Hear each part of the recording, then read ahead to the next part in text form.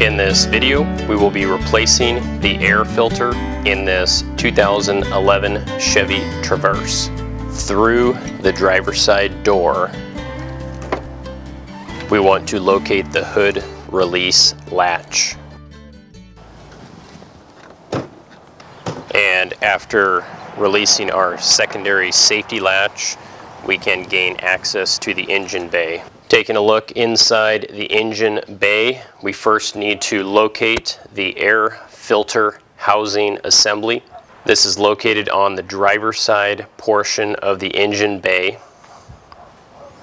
If we look around the perimeter of the air filter housing area, we can see that there are Torx head screws. The Torx head screws look like a little star in the center of them and you need a Torx head driver to remove those.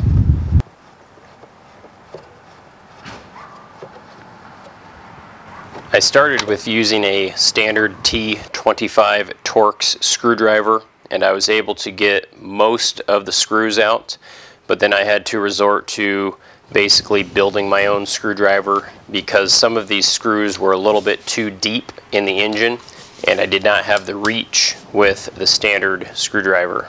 Next I'm going to remove the wiring harness that is connected to the air filter housing. There's a little tab on top of the wiring harness that needs to be depressed and then you can wiggle that loose. After that, I'm going to loosen up my worm clamp.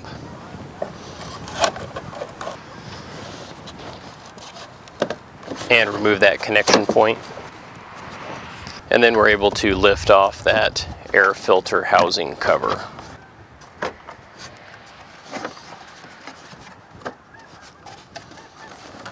It's a pretty tight fit with all of the other components. You have to kind of wiggle it around and see what you're catching on and work your way around that. Our air filter can then be removed by just lifting that out. I can then unbox my new filter and make sure that they look the same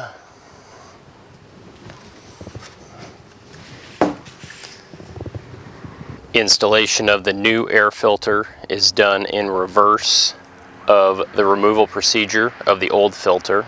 Slide that air filter in place, maneuver our air box around all of our other components,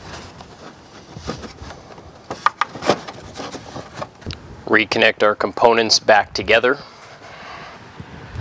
and reinstall our hold down screws. And at this point, this repair is complete.